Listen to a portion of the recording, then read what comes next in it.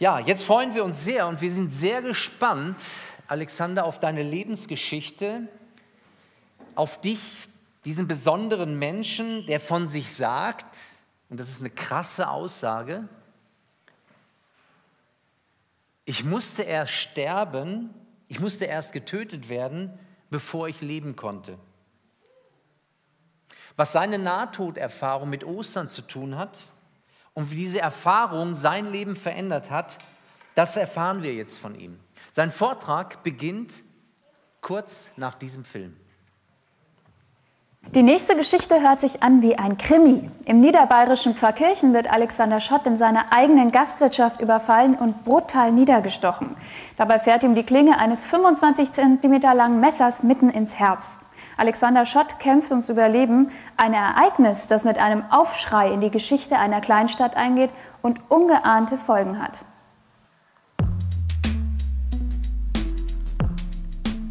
Meine kriminelle Karriere, die hat mit sechs eigentlich begonnen. Weil da habe ich das erste Mal angefangen, bei den Verwandten Geld zu klauen, bei meiner Oma, bei meiner Tante.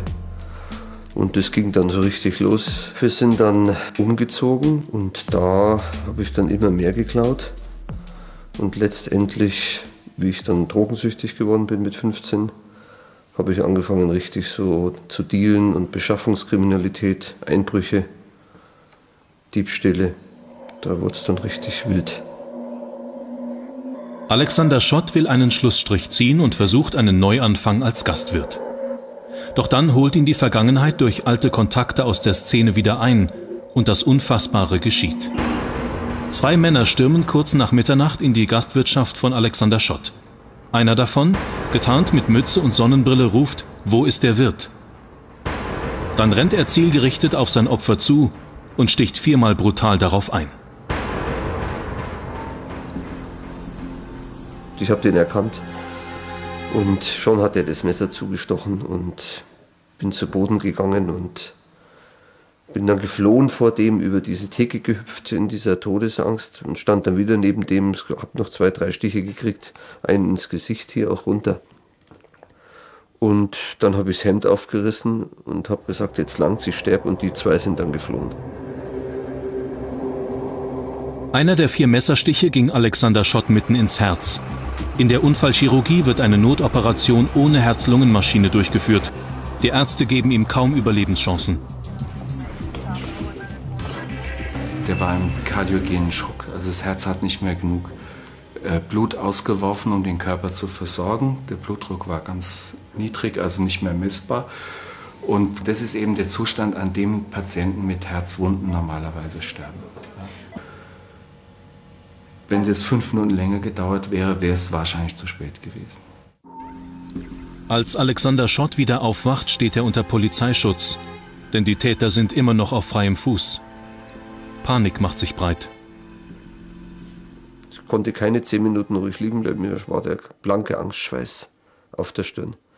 Und ich wurde immer unruhiger und immer nervöser und da habe ich dann die Bibel angefangen zu lesen und letztendlich das, was ich gelesen habe im Neuen Testament, das wusste ich noch nicht. Mit Jesus, das hatte ich noch nicht gecheckt. Das war für mich neu. Ich konnte nichts damit anfangen, aber es war spannend. Und ich habe dann einen Freund, den ich kannte, der wusste ich, der hat auch was mit Jesus erlebt. Den habe ich dann angerufen, dass der mir das überhaupt mal erklärt, was das bedeutet.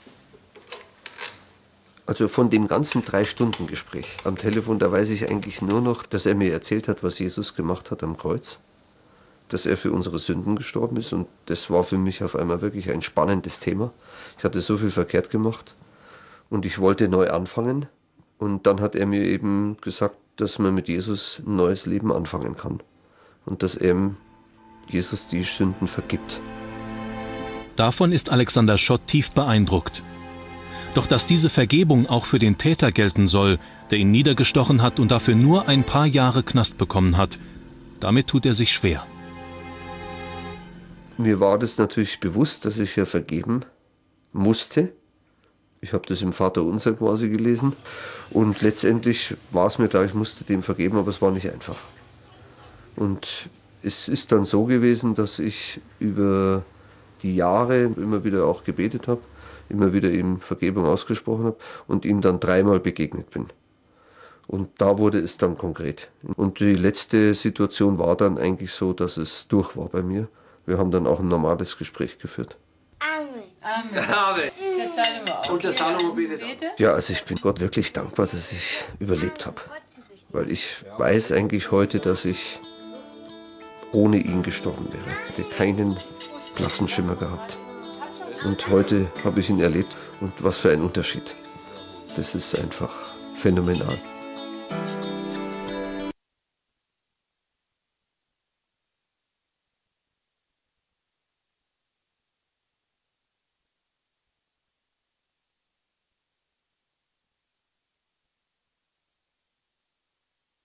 Dreißig Jahre ist es jetzt her, dieser Überfall auf mein Leben.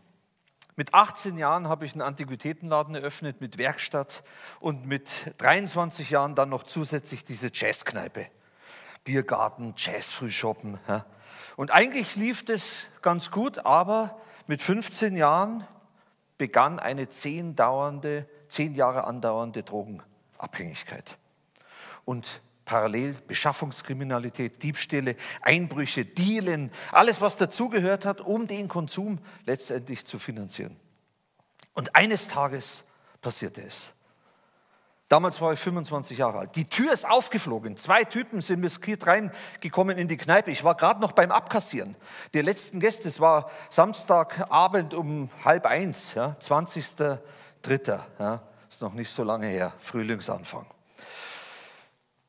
Zwei Männer mit Beil und mit Messer sind reingestürmt, sind auf mich zugestürmt. Wir haben gekämpft am Boden. Ich war am Boden und ich habe plötzlich gemerkt, es geht mir ans Leben. Ich habe geschrien, helft's mir, helft's mir, die wollen mich umbringen. Und in dem Moment bin ich aufgesprungen. Das Beil ist neben mich reingegangen in die Bank. Ja, es war eine dramatische Szene. Die Gäste sind geflohen und ich war hinter den Tresen und in dem Moment sehe ich das Messer. Der hat das Messer in der Hand und er sticht zu und zack, das war ein Messerstich ins Herz. Kriegt man gar nicht mit. Ich habe es gar nicht gecheckt, erst im Nachhinein natürlich, ja, weil das verschwindet von deiner Erinnerung. Und ich habe den Täter erkannt. Ja. Ich habe den Täter erkannt. Es war einer aus der Drogenszene, den kannte ich schon zehn Jahre. Das hat mich einge eingeholt. Ja. Und dann bin ich von ihm geflohen. Der zweite Täter war da, hat mich noch malträtiert, bin über diesen Tresen gesprungen und ein Gast ist zum Telefon gelaufen, während ich diesen Stich ins Messer gekriegt hatte. Er hatte das Telefon in der Hand, hat die Polizei schon angerufen und der erste Täter ist an ihm ran, hat das Messer an die Kehle gesteckt ja, und wollte da gerade irgendwas tun und dann bin ich geflohen vor dem zweiten Täter und stand unvermittelt neben diesen Täter. Und da hat er das Messer weggelassen von dem, der hat gesagt, das, ich habe schon telefoniert und hat mich noch zweimal reingestochen, einmal hier und einmal noch da runter. Es war dramatisch. Ja. Und dann ist er geflohen, ich stand da immer noch ja, und es ist heftig, ich will es gar nicht so ausführen, was da abgegangen ist. Wie er flieht, steckt er das Messer in die Theke rein, ja, wie im Film, und ich reiß das Hemd auf und ich sage, jetzt langt's, ich sterbe. Ja. Was für eine Szene. Ja? Heute kann ich drüber lachen, aber das war dramatisch und das ging blitzschnell. Ja? Es ging blitzschnell, wie im Film, aber real. 15 bis 20 Minuten braucht es ungefähr, bis man stirbt. Bis du ausgeblutet bist, bis nichts mehr ist. Und so schnell solltest du eigentlich irgendwo mal auf den OP-Tisch kommen und da sollte vorher noch der Sanker kommen und dich abholen. Ja? Wenn es ja nicht gerade im Krankenhaus passiert, was hier nicht der Fall war. Und ich hatte Glück, ja? Es war so, dass der Notruf zeitgleich abgesetzt worden ist, während ich diesen Messerstich ins Herz gekriegt habe. Und die Polizei hat sofort das Krankenhaus informiert. Die waren gerade, Verkirchen ist so eine Kleinstadt, da läuft eigentlich nicht ganz so viel, aber die hatten gerade einen Fall, haben den frisch vom OP-Tisch runtergetan und Sankerfahrer und Notarzt haben sich noch vor dem Krankenhaus unterhalten. Sankerfahrer war ein Bekannter von mir, der das Lokal kannte, das war neu und der sagt zu dem Notarzt, komm, steig ein, wir fahren dahin. Zack, waren die da. Und vor Ort haben die mich dann OP fertig gemacht. Das heißt, Anästhesie, das war der Chefanästhesist vom Krankenhaus, hat gesehen, das ist dramatisch, das ist nichts Kleines, der braucht sofort eine Anästhesie. Und wenn du stirbst, und das ist der Fall, dann lässt alles nach. Kot, Urin, ja, der, der Sankerfahrer hat gesagt, weil ich habe ihn dann später gefragt, ja, hat er gesagt, ja, du hast mich gefragt, du, ich muss mal. Und dann sagt er, lass es laufen, lass es laufen. Ja. Ich war da noch dabei, ich habe nichts mehr gesehen, ja? Aber letztendlich war ich im Sterbeprozess. Ich bin dann ins Krankenhaus gekommen und in dem Attest später, der Arzt hat mir das gesagt, ich war im Sterbeprozess, ja, moribund, das heißt ohne messbaren Puls, ohne Blutdruck mehr, ja, dem Tod geweiht, ja, könnte man das übersetzen, sterbend. So war ich auf dem OP-Tisch, blitzschnell, aufgemacht, Rippe entfernt, gesehen, das Herz ist es, Herzbeutel aufgemacht, gesehen, das Herz selber ist es. Der eine Arzt steckt den Finger in das Loch von dem Herz rein und sagt zu dem anderen, du musst jetzt operieren. Der sagt, das geht gar nicht. Ja. Ohne Herz-Lungen-Maschine, das Blut ist da überall. Also da war kein Blut mehr, da kam nur noch Blutplasma raus, ja, was sie mir gegeben haben. Aber dann hat er es gepackt und hat tatsächlich das Unmögliche möglich gemacht und hat an dem sich bewegenden Herzen das zugenäht, während das Ding da noch rumgegangen ist. Das ist wirklich unfassbar. Ja. Drei Stunden war diese OP. So eine OP gibt es normalerweise nicht. Die kann man auch nicht üben. Die kann man einfach nicht eintrainieren. Und dieser Arzt, der hat es gepackt. Und so hat er das Loch am sich bewegenden Herzen zugenäht. Später bin ich dann im Krankenhaus zu mir gekommen. Ich bin äh, mit dem Hubschrauber nach München geflogen, falls noch irgendwas wäre. Da gab es eine Herz-Lungen-Maschine, da hätte man wenigstens operieren können am Herzen. Gell? Aber dort ist nichts mehr zum Tun gewesen. Bin dann wieder zurückgekommen ja, und habe vergessen, in den Spiegel zu schauen ja, und dachte, und habe auch schon organisiert, meine Putzfrau, ich hatte am Samstag einen Jazzfrühshoppen, ja, dass die das Blut wegwischt. Das hatte ich noch völlig im Griff. Die Putzfrau wischt das Blut weg und ich war schon angezogen und war auf dem Weg nach Hause. Ja. So, und dann war ich in dem Sankerfahrer, habe mich herrlich amüsiert mit dem Sankerfahrer. Derwann war ich lebensgefährlich verletzt am Herzen. Ja. Hätte eigentlich eher ruhig liegen sollen. So kam ich im Krankenhaus im Verkirchen an und der Arzt hat auch nicht gewusst, was wer jetzt da ich bin. Und sage ich, ja, Schott, ja, das bin ich. Ja, sind Sie wahnsinnig. Legen Sie sich bitte hin. Gell. Sie haben eine schwere Herzverletzung. Ja, ich wollte jetzt heim. Ja. Ich habe den Chase früh shoppen. Ja. So, ich habe vergessen, in den Spiegel zu schauen. Da hätte ich nicht so gut ausgeschaut. Ja. Hier genäht, alles völlig blau ja, und überall vernäht. Damals bin ich den Tod von der Schippe gesprungen. Und ich habe es gar nicht realisiert. Habe es nicht realisiert. Ja. Wie ich dann im Krankenhaus lag, habe ich mir gedacht, das ist eigentlich cool. Ich habe eine Versicherung, ja. äh, Vertretung habe ich organisiert, Jazz-Frühshoppen ist organisiert, läuft. Ja. Und dann lag ich so in dem Krankenhaus und ich war unruhig. Von den Drogen, aber überhaupt, ich war ein aktiver Typ. Ich war total unruhig und ich habe Panik auf einmal gekriegt. Plötzlich habe ich gemerkt, wow, ich könnte sterben. Weil der Arzt hat mir gesagt, wenn ich jetzt nicht ruhig liegen bleibe, dann riskiere ich mein Leben. Jetzt habe ich das erst alles realisiert. Und dann war ich so im Krankenhaus immer ruhiger gestellt, aber ich war unruhig. Und in dieser Zeit Polizei hat bundesweite Fahndungen gemacht, Tagesschau, überall. Man wusste nicht genau, was eigentlich der Hintergrund ist. Die Täter sind noch gesucht worden, ob da eine Wiederholungstat kommt, ob die mich nochmal aufsuchen. Man hatte keine Ahnung, also war ich völlig isoliert, geheim in diesem Krankenhaus drin. Keiner wusste, wo ich bin oder ob ich da bin überhaupt. Ja. Und eine Frau wusste es, das war die Putzfrau. Interessanterweise. Die wusste das ganz genau. Und diese Putzfrau, die kannte ich schon länger, das war eine Christin. Und sie war sehr resolut, ja, muss ich sagen. Sie ist diese ganzen Sperren durchgebrochen mit einer Bibel bewaffnet in der Hand. Und so drückte sie mir tatsächlich die Bibel in die Hand und sagte zu mir, Jesus hat Gnade walten lassen und hat dein Leben von den Toten errettet. Bäm, ist sie wieder abgerauscht. Ja.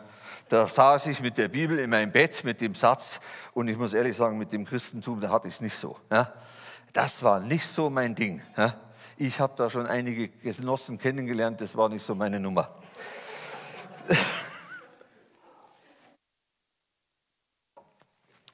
So, dann lag ich da, habe die Bibel so gelesen habe gedacht, das ist eigentlich ein cooles Buch. Vorne lese ich das Buch der Bücher. Wow, ja, musste schon mal reinschauen. Gell. Ich hatte schon mal so eine Bibel in der Hand. Ich habe mich dann erinnert in der Offenbarung Drachen und Schlangen und was da alles war. Ja, es war nicht verständlich für mich. Habe es dann wieder weggegeben.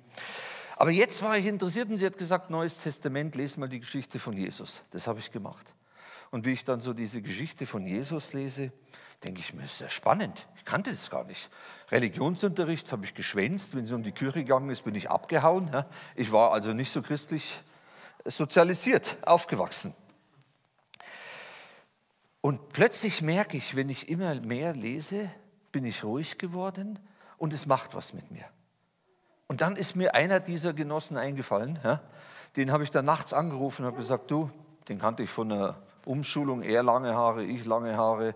Mittags haben wir uns besucht. Ich dachte, drehe ich schön einen Joint miteinander mit ihm. Die Umschulung kriegen wir rum. Ja. Und er fängt an, Lieder zu singen und christlich und so und, und sagt, er raucht nicht mehr. Ja. Da dachte ich, oh je, ja. war ich wieder weg. Aber der ist mir an dem Abend eingefallen. Ja. Ruf ihn an und dann sagt er, wir haben alles schon gehört, es war klar, es war das Tagesgespräch im Verkirchen. Ja logisch, ja, das ist heftig, ja, und, und wussten Bescheid und wir haben schon gebetet, hat er gesagt und so. Und dann äh, habe ich ihm das erzählt, was mir, ja, das weiß er schon, und du, ich lese hier die Bibel und so, ja, ob ich das überhaupt verstehe, was da so steht. Sag ich, was, was soll ich verstehen? Ja. Und dann erklärt er mir, was Jesus getan hat.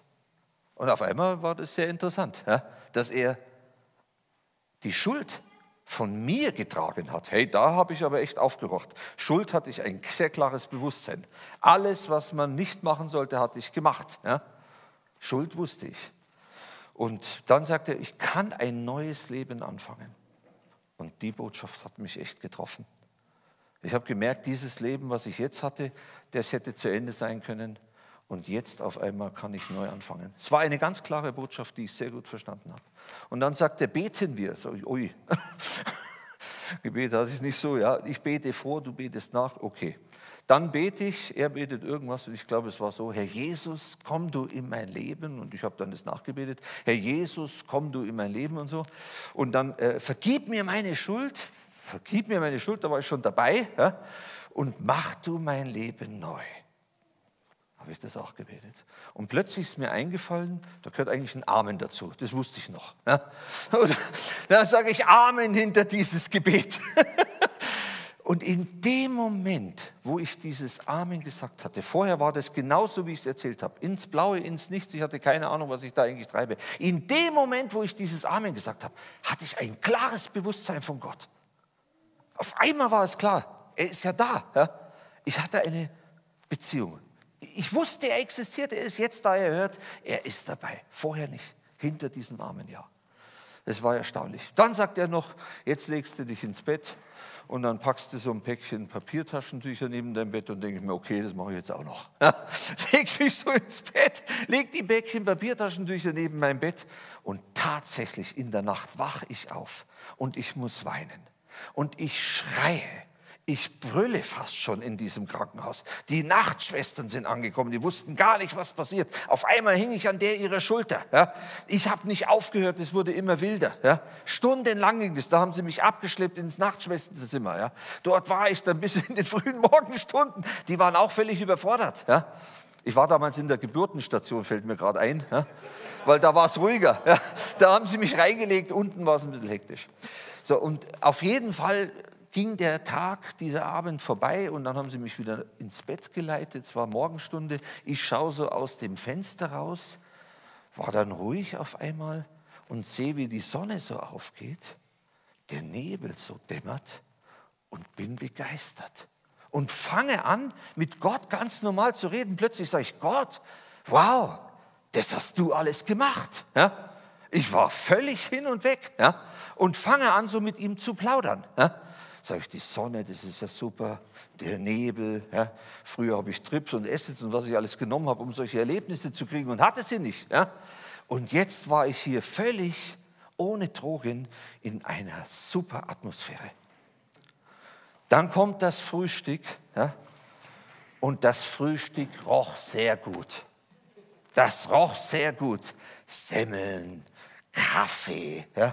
Und ich war vor dem Frühstück ja, und dachte mir, solltest du vielleicht mal Gott danken. Ja? Und fang schon an, so mit Gott zu reden. Wie gesagt, bin ich religiös aufgewachsen. Sage ich, Gott, super für das Frühstück, danke dir, riecht gut, Kaffee und so. Und während ich so anfange zu danken, Stück für Stück, was da so liegt, ja, fällt mir plötzlich meine Zähne ein. Ich war aktiv, ich habe gedealt, ich kannte viele Leute, bis nach Landshut leider, ja, muss ich gestehen. Ja. Und auf einmal fällt mir der ein, wie der drogenabhängig ist. Ein junges Mädchen. Eine Szene ist vor meinem Auge, ja, wie sie angefixt worden ist auf einer, auf, einer, äh, auf, einer, auf einer Fete, auf einem Festival und plötzlich ist sie umgefallen mit, der, mit dem Kopf vorüber, mit dem Gesicht in die Pfütze und keiner hat sich um sie geschert, sie hätte ertrinken können. Ja. Auf einmal war mir das so klar vor Augen, dass diese Menschen einen Trip zur Hölle unterwegs haben der nur in den Tod führt, was ich gerade erlebt habe. Und so habe ich angefangen, für dieses Mädchen zu beten, für jene zu beten, für diese zu beten. Und ich habe sehr viele Leute gekannt. Jeden habe ich, der mir eingefallen ist. Gott gesagt, Gott erreiche sie, er rette sie, rette sie vor diesem Wahnsinn. Und es wurde Mittag. Ich habe stundenlang gebetet. Und so war meine ersten Stunden mit Gott.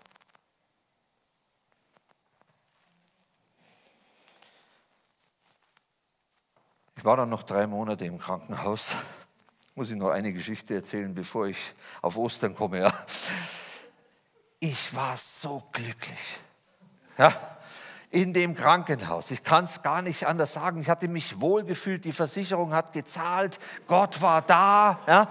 Ich war alleine, ja, der Jazzfrühschoppen lief ohne mich, es war herrlich. Ja. Ich, so hatte ich mich angefangen, häuslich einzurichten. Hatte meine Bilder aufgehängt, deren Bilder abgehängt. Ja. Und, und so hatte ich mich also da eingerichtet. Ja. Drei Monate gingen ins Land und irgendwie wurde es immer am Schluss seltsamer, weil die haben immer gesagt, Herr Schott, schauen Sie mal, draußen ist schön, ja. es gibt noch was anderes hier. So, die wollten mich loswerden, ich habe es gar nicht verstanden. Ja. Auf jeden Fall war ich in diesem Krankenhaus und, und äh, es wurde dann ein bisschen seltsam, muss ich noch eine Geschichte erzählen, weil ich hatte dann so einen Diensteifer plötzlich gekriegt. Ja. Ich war dankbar und wollte meine Dankbarkeit ausdrücken und äh, wenn die Ärzte gekommen sind, bin ich plötzlich aufgesprungen, habe die Ärzte alle die Hand geschüttelt. Ja. Dann habe ich ihnen Obst angeboten, am nächsten Tag hatte ich noch mehr Obst. Ja. So. Und dann kam die Putzfrau rein und fängt da an zu wischen und ich spring auf, entreiße ihr den Schrupper. Ja. Sie hält ihn fest ja. Das war also eine dramatische Situation. Ja. Sie hat gesiegt. Ja. Der Schrupper blieb bei ihr. Ja. Und dann habe ich schon gemerkt, das, das klappt so nicht. Ja. Also man muss sich irgendwie auch anders vielleicht benehmen. Ja. Auf jeden Fall nach drei Monaten bin ich dann raus aus dem Krankenhaus gekommen und kam zurück in mein Jazzlokal. Boah, da war die ganze Geschichte. Ja. Das Blut war natürlich nicht mehr da, aber die ganze Geschichte lebte auf einmal sehr aktiv. Und ich merkte dann, das ist ja mein Leben. Ich hätte am liebsten nichts mehr gewusst davon. Ja. Aber ich stand dann da plötzlich wieder mittendrin. Ich hatte noch einen Antiquitätenhandel. Da kommt ein Kunde ja, und sagt, Herr Schott, Mensch, schön, Sie zu sehen. Und sage ich, ja. Und, und, und dann nimmt er was nach einem langen Gespräch und will was kaufen ja, und, und sagt, das würde ich gern kaufen. Und dann sage ich, ja, ähm, oje, ich habe es geklaut und hat es in meinen Laden gestellt zum Verkauf und jetzt hat er es in der Hand. Ja. Und dann sage ich, nee, das können Sie nicht kaufen. Habe es weggetan, er war ein bisschen seltsam, er wollte aber mir was Gutes tun. Hat er was anderes genommen, war auch geklaut. Ja. Habe ich ihm das auch abgenommen. Ja. Jetzt wurde es schon sehr dramatisch. Das dritte war endlich nicht geklaut, bezahlt, ab, Tür zugeschlossen und ich habe erst gemerkt, wow, ich muss mein Leben in Ordnung bringen. Ich stand mitten von lauter geklauten Zeug. Ja. Da habe ich es erst realisiert. Ja.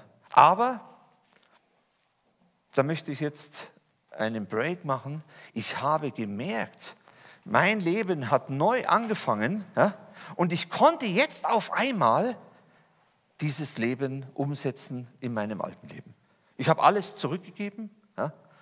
Es hat zehn Jahre gedauert, ja, bis ich die Leute überhaupt wiedergefunden habe und so und, und konnte Sachen in Ordnung bringen. Da habe ich außergewöhnliche Sachen erlebt. Ich hatte auf einmal die, den Mut und die Kraft, neu anzufangen, mein Leben neu zu gestalten. Ja. Und auf einmal gelangen mir auch die Dinge. Ja. Manche schneller. Später habe ich festgestellt, erst wirklich Jahre später, dass ich ab diesem Gebet schlagartig drogenfrei war. Das war auch ein Phänomen. Ja. Ich habe selber auch äh, äh, Leute begleitet mit Drogen, das ist ja nicht immer so. Aber bei mir war das so eine Gnade, ja, dass ich das erlebt habe, dass ich drogenfrei geworden bin. Später, sechs Jahre später, äh, einige Jahre später, ich dann bin ich in die Kirche gegangen, neuerdings sonntags. Ja. Und da sind mir Missionare begegnet und dann haben die von Afrika geredet und auf einmal war ich Feuer und Flamme ja, und dachte, das ist was für mich. Und tatsächlich sind wir dann als Familie sechs Jahre nach Afrika. Ich habe mein ganzes Leben neu ausgerichtet, ja, das Geschäft verkauft, den Jazzkneipe verkauft und habe etwas anderes gemacht. Ich wollte jetzt Menschen helfen. Das war auf einmal so ganz klar in meinem Herzen drin. Ich wollte das, was ich geschenkt gekriegt habe, nützen.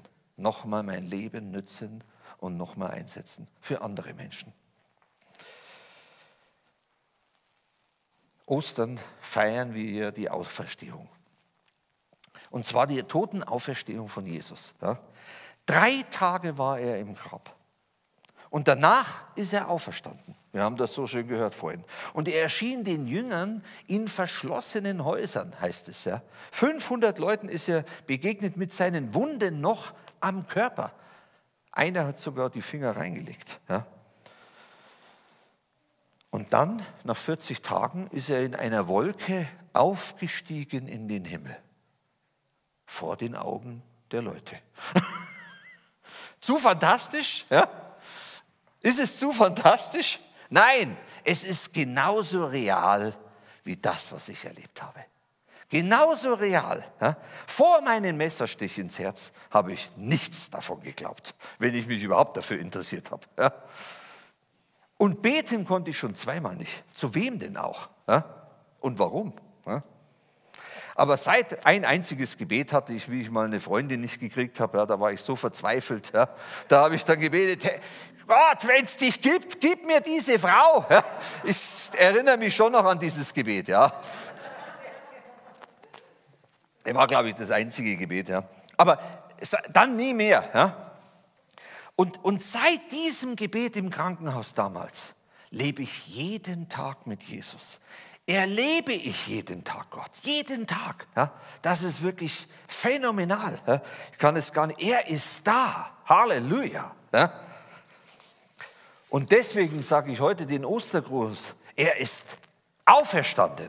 Halleluja. Er ist wahrhaftig auferstanden. Jesus ist auferstanden von den Toten. Halleluja. Das ist eine reale Tatsache. Das ist der Ostergruß von uns Christen. Und heute erinnern wir uns an das, was Jesus eben erleidet, am, am Kreuz erlitten hat. Ja? Nämlich, dass er die Schuld was ich erleben durfte. Auf sich genommen hat. Ich hatte keine Ahnung davon. Er hat es schon damals getan. Aber plötzlich im Gebet wurde es für mich, für mich, wurde es für mich real. Und ich war weg von der Schuld. Plötzlich war mein Gewissen wieder in Ordnung. Und ich konnte neu anfangen. Das ist Ostern. Das ist Ostern. Ja? Es ist der Triumph über den Tod. Der Triumph über den Tod, weil er wahrhaftig auferstanden ist. Wir feiern heute diese Auferstehung zu Ostern. Das ist unser Thema. Diese Botschaft, die ich erlebt habe, haben auch viele Millionen Menschen schon erlebt. Nämlich diese Kraft der Auferstehung, dass Jesus lebt. Ja? Das treibt die Christen vorwärts. Sollte sein. Weil verblüffenderweise ja, glauben viele Christen nämlich nicht an die Auferstehung. Man glaubt es ja nicht, ja. Aber es gibt mehrere Statistiken. Ich lese hier, 60 Prozent der Christen in Deutschland, von den Katholiken glauben nur 28 bis 61 Prozent dran, von den Evangelischen 23 bis 58 Prozent und von den Freikirchen, sage und schreibe nur 55 Prozent, glauben an die Auferstehung. Ja. Das ist doch verblüffend. Ja. Die Zahlen sind sehr unterschiedlich, aber sie belegen das. Der Apostel Paulus der uns einen großen Teil des Neuen Testamentes hinterlassen hat, schreibt dazu in 1. Korinther 15, 12, wenn aber gepredigt wird, dass Christus aus den Toten auferweckt sei, wie sagen einige unter euch, dass es keine Auferstehung der Toten gäbe? Also kein neues Phänomen, schon damals. Ja, haben die Christen scheinbar nicht dran geglaubt. Gell? Wenn es aber keine Auferstehung der Toten gibt, so ist auch Christus nicht auferweckt. Wenn aber Christus nicht auferweckt ist, so ist also auch unsere Predigt inhaltslos. Inhaltslos, aber auch euer Glaube. Das ist eine vernichtende Aussage. Absolut vernichtend, da gibt es nichts dran zu rütteln. Ja? Die Auferstehung, andersrum gesagt, ist also das Fundament unseres Glaubens als Christen. Ohne dieses Fundament inhaltsloser Glaube. Und darum heißt es, Jesus ist auferstanden. Halleluja. Er ist wahrhaftig auferstanden. Halleluja. Jesus ist auferstanden. Amen. Da bin ich richtig begeistert. Ja. Eine Frage noch, wieso ist unsere Gesellschaft eigentlich so geprägt, dass Christen nicht an die Auferstehung glauben? Ja? Hängt es etwa mit dem Verständnis, unserem Verständnis mit dem Tod zusammen? Was glauben wir eigentlich geschieht nach dem Tod? Der Realismus sagt uns, der Tod als Teil des Lebens gehört dazu und dann ist Schluss. Fertig. Ja? Stimmt es? Die Esoterikwelle boomt, die Suche nach Spiritualität, Menschen suchen nach Antworten. Die deutliche Mehrheit der Menschen ist religiös. Sie glaubt sehr wohl an etwas Übernatürliches. Realismus ist also eher ein westlicher Eindruck, der seine Berechtigung hat, aber den Blick auf das verstellt, was unsichtbar ist, aber genauso real ist. Gott ist genauso real. So real, dass er sogar wissenschaftlich belegt ist. Wir Deutschen lieben das ja. Corona-Krise, Wissenschaft. Ja? Das wichtigste Wort. Ja? Wissenschaftler haben es gesagt. Was meine ich dazu? 1. Korinther 15, Vers 3. Denn ich habe, Paulus sagt dazu, vor allem über, ich habe euch vor allem überliefert, was ich auch empfangen habe, dass Christus für unsere Sünden gestorben ist nach den Schriften und dass er begraben wurde und dass er auferweckt worden ist am dritten Tag nach den Schriften. Das Leben Jesu, sein Wirken, wurde in den Schriften, also in der Bibel, vielfach prophetisch vorhergesagt. Also Jahrhunderte schon vorher, was danach passiert. So, jetzt haben ja die Kritiker gesagt, ja, das kann man ja nachher reinschreiben, was damals passiert ist. Wir haben ja die Schriften von damals nicht. Bis in den 50er Jahren Folgendes passiert ist. Sie fanden Schriftrollen vor Jesu Geburt datiert, 200 Jahre vor Jesu datiert. Ja? Und da stand plötzlich auch was über Jesus drin. Ja? Hier sind diese Schriftrollen. Ja? Das ist so hier die berühmte Jesaja-Rolle. Die berühmte Jesaja-Rolle, man sieht sie ganz genau, die musste ich schon mit dieser. So, da gab es also eine ganz große Bibliothek, 200 Jahre vor Christus datiert, diese Schriftrollen. Ja? Und da steht zum Beispiel Folgendes drin. Jesaja 7,14. Siehe, die Jungfrau wird schwanger werden und einen Sohn gebären, was das wohl ist. Gell? 200 Jahre vor Christus, ja, seiner Geburt. Und er wird sogar Immanuel heißen. Ja? Der Name steht auch drin. Jesaja 9,5. Denn ein Kind ist uns geboren, ein Sohn uns gegeben. Und so weiter. Und eine interessante Stelle noch, Jesaja 53, Vers 4. Jedoch unsere Leiden, er hat sie getragen und unsere Schmerzen, er hat sie auf sich geladen. Wir aber, wir hielten ihn für bestraft, von Gott geschlagen und niedergebeugt. Doch er war durchbohrt um unserer Vergehen willen, zerschlagen um unserer Sünden willen. Die Strafe lag auf ihm zu unserem Frieden. Und durch seine Striemen ist uns Heilung geworden, steht hier drin. 200 vor Christus. Und am Kreuz von Golgatha hat es sich erfüllt. Am Kreuz von Golgatha ist Jesus hingegangen, hat die Strafe auf sich genommen, damit wir Frieden haben. Die Bibel ist also ein prophetisches Buch und sie wird und hat sich schon erfüllt. Unsere Schuld, zum Beispiel steht da seine Wiederkunft drin, wird uns vor Gericht, was es geben wird, und ich bin froh, dass es ein Gericht geben wird, ich sage es ganz deutlich, ich möchte nicht neben Hitler im Himmel sitzen. Das meine ich genauso, wie ich es ernst meine. Ja? Und ich bin mir sicher, dass ich es nicht tue, weil es gibt die letzten Stunden in einem Film belegt, dokumentiert. Ja? Eine Sekretärin hat alles mitgeschrieben, wie er gedacht hat, wie er gesagt hat. Er ist nicht umgekehrt. Er wollte noch das ganze deutsche Volk vernichten, ja? weil sie waren es nicht wert. Ja? So, und es gibt eine Gerechtigkeit im Himmel. Und da bin ich dankbar dafür. Ja?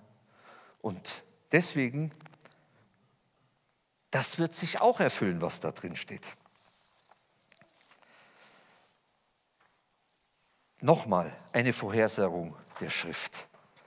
1. Korinther 15, Vers 3. Denn ich habe euch vor allem überliefert, was ich auch empfangen habe, dass Christus für unsere Sünden gestorben ist nach den Schriften und dass er begraben wurde und dass er auferweckt worden ist am dritten Tag nach den Schriften. Diese Bedeutung der Botschaft, ja, die ist absolut wichtig. Ja.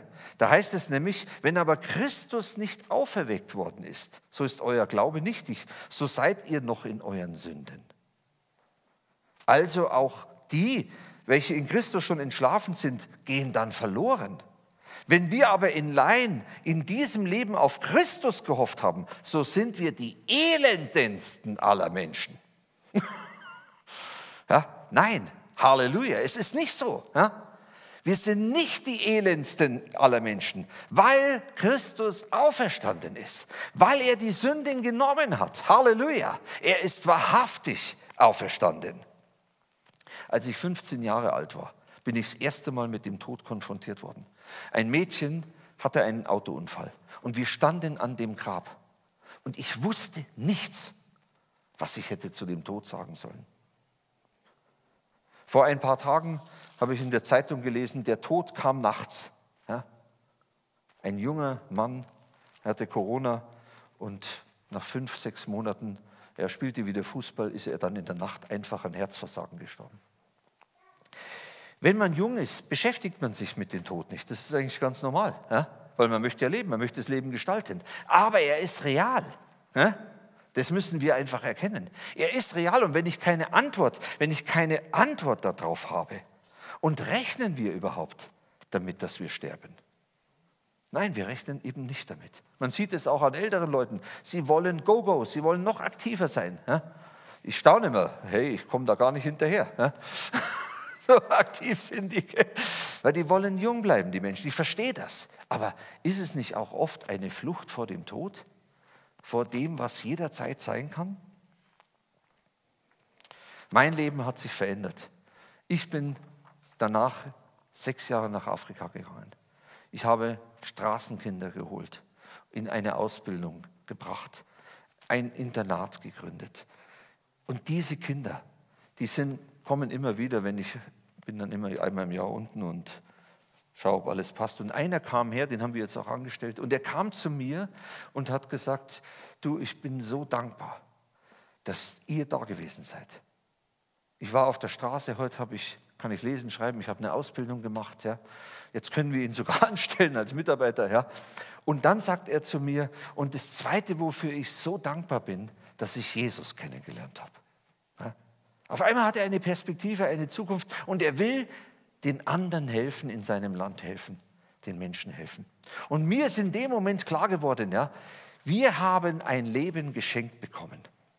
Ich habe das Leben ganz konkret geschenkt bekommen nochmal. Und ich wollte es nochmal einsetzen und es ist mir Gott sei Dank gelungen, indem ich da unten Menschen ganz konkret helfen kann. Warum erzähle ich diese ganzen Erlebnisse? Wir haben diese eine Botschaft, die Osterbotschaft, dass Jesus lebt und er die Macht des Todes zerstört hat. Wir haben eine Botschaft des Lebens, des ewigen Lebens sogar, für die Menschen.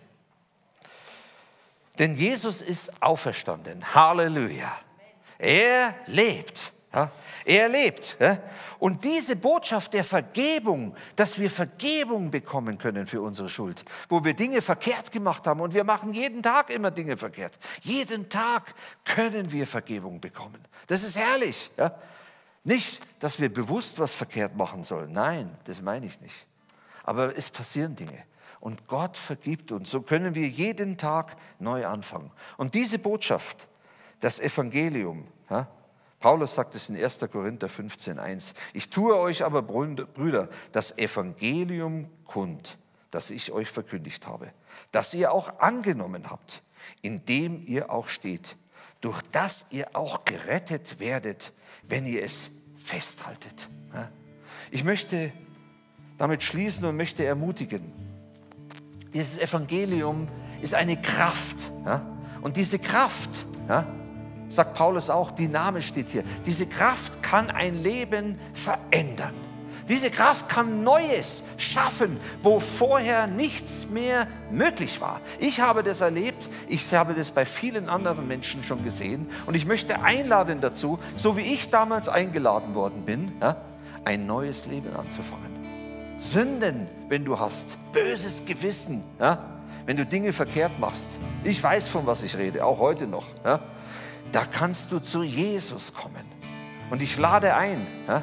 Und es ist so einfach, genauso einfach, wie ich es erlebt habe. Es ist eine Entscheidung. Ich sage quasi, Herr Jesus, komm du in mein Leben und mach du mein Leben neu. Vergib mir meine Schuld.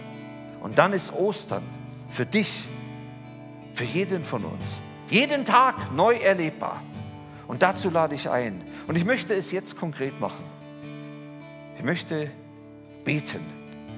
Und du kannst genauso beten, wie ich damals nachgebetet habe. Ja. So einfach ist es. Du kannst einfach beten. Es ist die Entscheidung, nicht die Wörter.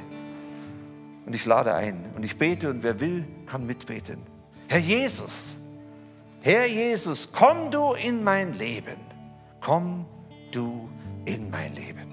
Und vergib mir meine Schuld. Und vergib mir meine Schuld und mach du mein Leben neu. Und mach du mein Leben neu. Amen. Der Herr ist auferstanden.